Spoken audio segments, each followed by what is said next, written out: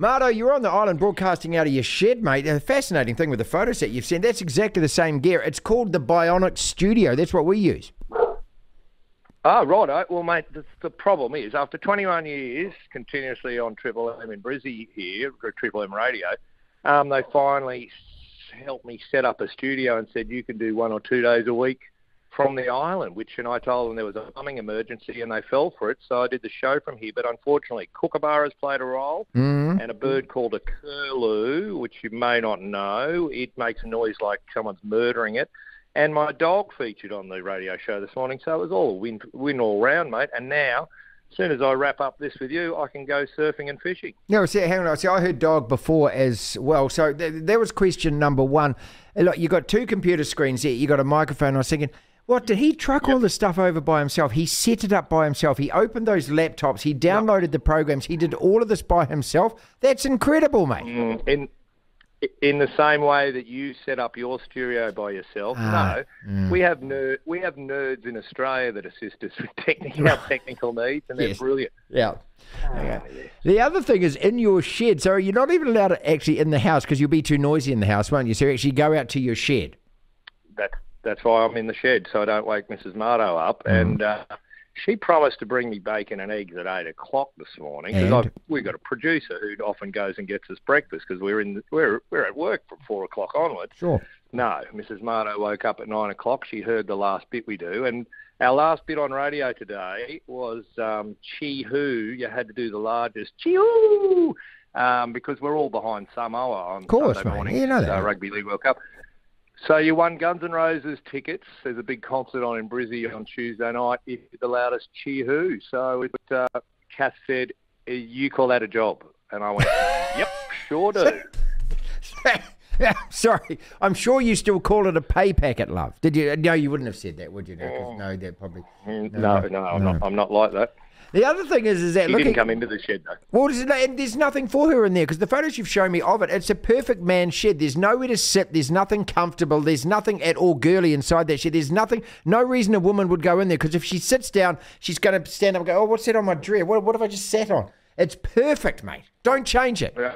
19 years we've had this joint, or maybe 20. Anyway, um, she has never crossed the threshold. There's two entry points. She looks in and she goes, Ooh, it's a barren landscape for females in here. It's wonderful, mate. Do You'll have to join me one day for a beer. Yeah, I'm going to, mate. I've absolutely, it's on my, I've absolutely on the bucket list. One day cricket, you've got a series versus uh, England going on at the moment. Look, this is how much the millennials have affected my life. I turned on to watch last night, Greg, and I, cou- I couldn't watch. It was taking too long. I couldn't watch it. I was just thinking, T20, this is what they've done to me. Oh, that's a great call. I was the same. I jumped in a couple of times, listened to it on the radio, watched a little bit on TV, and went, oh, hold on. Well, and if you don't know, and it was a big result, we beat England in the first of the one days, the world champ, recently crowned T20 one day champion. Um, yes, it does take too long. 50 overs is far too much. Is it the death of the 50 over yeah, game? yeah, it is. I think I think it may be. But uh, thank God we beat England, a bunch of hungover world champions. I don't know how much you take out of that.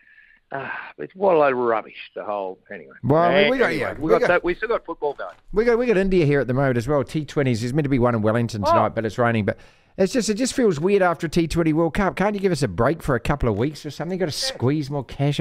Anyway, let's Give talk. rest, let's you know, let's talk football because that's what we're talking about. Um, obviously, the whole of Aotearoa has gone to Samoa for this game. We have to, mate. I mean, you know, there's 200,000 people in Samoa. I mean, you, tell me, tell me a little town or a city in Australia with these 200,000 people. What would that be? Sort of somewhere in Queensland.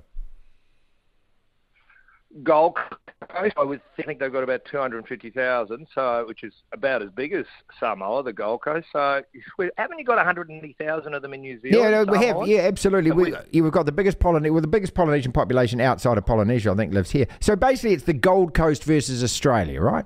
That's that's what that's what they're up against. yes, that's that's correct. Yeah. I'll tell you what, though, we had a lot. We had a lot of Samo- Samausies, we call them, so Samoan Aussies, uh, rang us this morning. There's a couple of march. It's really gone. It's gone mad, mate. Um, Samoan flags as big as the car. Yeah, people brilliant. driving around. Brilliant, cops brilliant. not picking them up. Cops usually cops to be right onto that. If you flew an Australian flag, you get a fine, a $140 fine and one point off your license. But no, apparently they're picking up Samoans going, Uh, just take it easy, boys, because they're not they're not drunk. No, so no, they're they're just having fun. loving it. Yeah. man.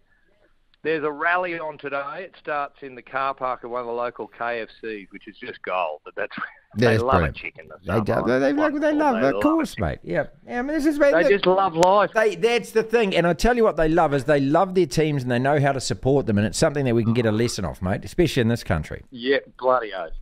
Bloody oath, and they're singing. Have you heard The Rock? You should get that on your show today. The Rock has been badgered all week by a, by an Instagram account called NRL Roast. They've been asking every day to do a due out to um, the, the Samoan brothers, and he fi- they finally got him. It only happened a, an hour or so ago. Finally, The Rock, I think he read most of it while in between a wait. But giving them a shout out, which would just tick every Samoan pink. Mate, I'd love to see Samoa win, but um, first half they'll go. Well, you know, it'll be one of those traditional, like you guys, New Zealand, the Kiwi um, rugby league team last week. First half magnificent, full of, full of venom, full of food, and the second half we'll just squeeze them, Yeah, and yeah, that'll be the Uh, end. Greg Familiar Martin. Triple M out of Brisbane. We've also got, excuse me, our women versus your women as well. That's going to be a much closer game, I reckon. Mm. Yeah. Okay. Um, I, I haven't done my preview for that fixture. That's the first I knew it was on. So uh, I'll let you. okay, preview. all right, okay. Well, well, that's going to be a live. It's a big deal here in Women's Rugby League, like mate, hold on. Women's Rugby League World Cup. How many teams played in it? Four. Wait until you get more teams and then have a World Cup. Okay, all right, that's fine. I mean, it's just that we're on a roll with this at the moment because the Black Ferns won, of course. I mean, we're embracing it. We're just in love with women's sport here in the country at the That, moment. woo, woo. Hey. that was mag- Yeah, it that's, was, mate. That, that's proper. That's always that was proper. That was a magnificent game. Congratulations, the Black Ferns were magnificent. I'll herald that, but don't. We've spoken about this before. Don't throw nonsense at me. Throw proper stuff at me, and I'll watch. Ever been to Twickers, mate? Have you? Did you play there? Never played for the Wallabies there. Played for Queensland. We played oh, someone there one day, and of course I've commentated there many times. I was there when we won the 1991 World Cup against uh, England. Yep. Um, I was about five metres behind the Queen. She's tiny. She could fit on a. She could be one of those little dolls on uh, Copenhagen. I mean, that was the best I ever did. But um, what a place, mate! Full of hooray Harry Mm. and drunken idiots. It's. Uh, who, oh, you got England this Yeah, weekend. yeah. Jesus. Right. No, no, this is the litmus Well, test for the All Blacks. I mean, look, okay, so Dave Rennie in charge, loses to Italy. Dave Rennie taking you to World Cup. Dave Rennie's future post World Cup is? Don't, don't talk to me about Dave Rennie. Don't talk to me about Dave Rennie. I finally broke my silence this week and called for his sacking. Listen, do you know the story of um, Helen of Troy and the Trojan Yeah, horse? yep, you know yep. that story Mhm. where where they presented a gift. Uh, they wheeled it inside the castle, and then out came, or, and out come all the soldiers, and they attacked the um, the host. So that's Dave Rennie. You sent him over here to completely destroy the game of Australian rugby, uh, completely destroy Australian rugby. So Dave, the Trojan horse, I'm calling him. You have done this deliberately. No, you would have accused Robbie Deans of the same, I suppose, back in the day. That is correct. Okay, You've done so- it twice right, to us. okay, I've now. done it twice. The other thing about that So, hold stupid bloody What- story, mate, let's just back the truck. Hang on a second. So you're talking about sometime in 5,000 years ago that they were Mm. besieging a city. They just happened to be able to build mm. this huge horse where no one actually noticed them building on, it. on, whe- The- on wheels. Then they trucked it up on wheels, and it had so many goddamn mm. soldiers in it that when it was inside the gates, it could take over a whole city and kill an army of thousands. I mean, come on, man. This is it's not real. It's bloody been made up. How big was the horse? It would have had to be the size of a ten-story building. Well, well, well, I'm going to ring Israel Folau if you continue with this oh, here tone we of go. voice. Like Right, yeah, good point. we're, we're talking, we're talking About the Holy biblical Bible, yeah. tales. Okay. What else don't you believe? I don't know. Don't you believe the budding the Red Sea? Do you what? Do you not believe the loaves and fishes story? That oh, come on. I don't Come on, believe. David. I don't believe that Bernard Foley actually was genuine when he said he didn't know that to kick the ball out. That's another fairy tale, mate. He bloody knew. The ref said to him a hundred times, "Kick it out, mate." He didn't hear him. The crowd was too Sorry, loud. that's right. The crowd was. Anyway, he's learned. He's learned his lesson. I like. Uh, there was somebody at while training one of the journos this week asked if Bernard thought he was too old at 32. He might be 33. Pointed at Johnny Sexton to make a very good point. Johnny Sexton's 37 and still dominating. Yeah, how did So, he get the world? The Irish five eight. Bloody hell! I mean, the other thing is Rassie Erasmus has been banned by World Rugby for a couple of tweets he's put out there. Well, okay, how about this, Greg? How about World Rugby gets banned for actually coming out with that statement saying that rugby's going to overtake the United States sporting market? I mean, if, if one person could get banned for a stupid tweet, why can't they? So true. That could be in the Bible as a, as another twisted tale. Yeah. So there could be an extra chapter. The New Testament, World Rugby's proclamations over the last 10 years.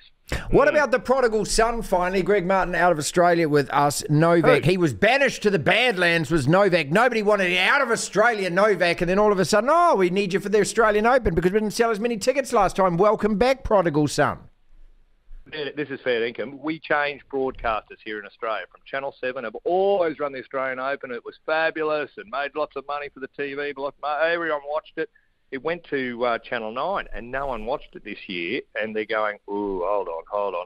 So they've knocked on the door of the government and said, listen, what, what, what was all that about? Let us have Novak. And they have. So I believe TV stations not only run the rugby, they decide how long the game goes for, when the second half starts, when the ads are finished.